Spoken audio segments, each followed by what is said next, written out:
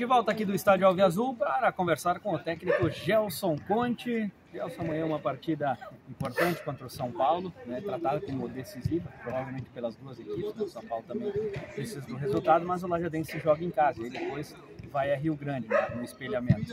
É uma partida fundamental para a sequência dos trabalhos. Né? Tudo bem, boa tarde. Boa tarde. É uma situação que nós mesmos criamos. Se bem que no acesso todos os jogos são decisivos, porque quando se entra tem que ganhar sempre. Adversário muito difícil, a gente sabe das características do, do adversário e nós é, vemos dois resultados adversos, mas nós precisamos ter tranquilidade. Tranquilidade não quer dizer que nós vamos com sono. Precisa, eu estou falando isso para os nossos atletas, e nós precisamos ter um entendimento de uh, tranquilidade, de ansiedade, não dá para esmorecer. Acho que nós temos que aumentar o nosso ritmo de competição. É, porque lá em Pelotas, às vezes, nós não temos uma grande atuação, não tendo concluído muito pro gol. O adversário também fez pouco para ganhar de nós e acabou fazendo dois gols que foram falha nossa. Que se nós tivéssemos um ímpeto de concentração, de competição, nós não teríamos tomado pelo menos um dos gols. Então a gente tem que ir para dentro de campo fazer o nosso melhor, sabe? Que é decisão, todo mundo trata o jogo como decisão. Ele é um jogo do acesso que vai ter uma competição, um nível de competição enorme. E dentro desse nível de competição nós temos que tentar fazer o melhor para que a gente consiga vencer. Para daí depois no segundo turno tentar fazer o maior número de pontos possíveis para a gente conseguir ainda buscar uma classificação.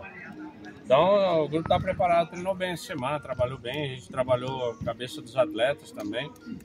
Porque o que nós enfrentamos aqui nesses dois jogos, nós vamos enfrentar, e eu coloco isso para eles, em alguma outra agremiação, algum outro clube que eles forem trabalhar. Quando se apresentar esse tipo de situação, nós temos que estar preparados para ela.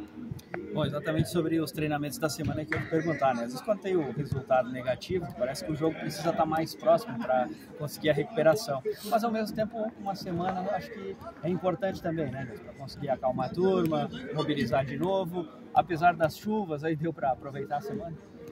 É, nós temos alguns jogadores também que têm sempre sentindo alguma coisa e a gente tem que observar que foi bom não ter tido o jogo já na quarta-feira e esse jogo ser no sábado.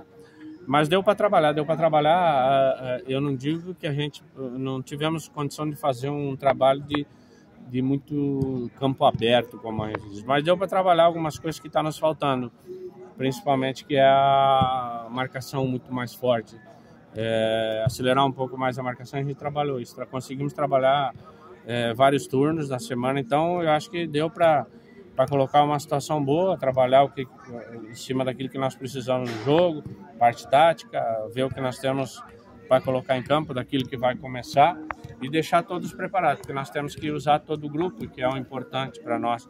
Nós não podemos depender só de 11 atletas e nós sabemos que tem alguns que ainda estão abaixo que precisam dar uma, um, uma reanimada, um, um, o sistema vibratório um pouco mais elevado e além disso eles precisam buscar no trabalho, no, no trabalho conosco e alguma coisa extra junto com o Júlio. Importância da torcida amanhã. Eu sei que é meio protocolar isso, mas é que o torcedor é importante entender o papel dele amanhã. Né? É, o torcedor deve estar pensando, bah, ano passado a gente fez, foi para a semifinal, um trabalho maravilhoso, o trabalho está bom esse ano. É, se, trouxe de volta 10 atletas do ano passado, se contratou alguns outros com a mesma característica.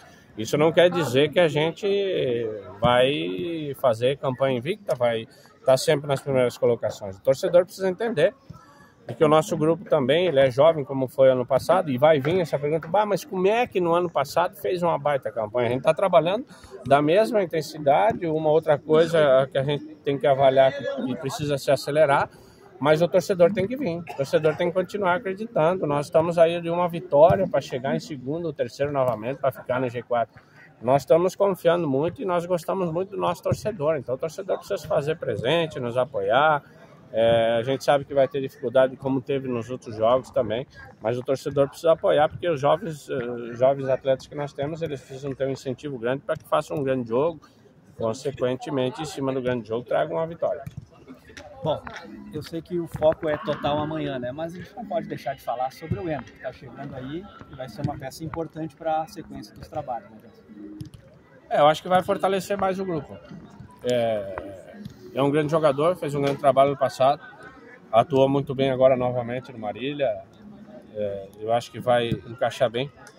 Mas nós temos que que tem uma visão, quem comanda, de que o Wendel vai somar muito para o nosso grupo. No somar muito para o nosso grupo, nós ainda temos, eu volto a frisar, alguns jogadores, alguns atletas muito abaixo. Fisicamente, é, tecnicamente, psicologicamente. Então, ano passado foi trabalhado com um grupo, é, talvez menor que esse, mas com aquilo que eu estou cobrando no dia a dia de muito mais foco, de muito maior concentração, e alguns precisam buscar um pouco mais para emparelhar com os que estão com bastante ritmo. Mas o Wendel, no primeiro momento, dispensa comentário. Vai se encaixar bem no grupo aí, tomara que logo, logo esteja em condição para que consiga também se adaptar bem aos, aos colegas novos, alguns ele já conhece, e que ele faça novamente um grande trabalho, porque ele tem todas as ferramentas e ele tem condição de jogar em coisa boa, e, e por isso ele está no Lajadense também. Muito bem, tá aí o técnico Gelson Conte, amanhã a partir das 18 horas, Lajadense, São Paulo de Rio Grande, cobertura completa do Grupo Independente, você acompanha também, além do rádio, pelas redes sociais. Valeu, pessoal!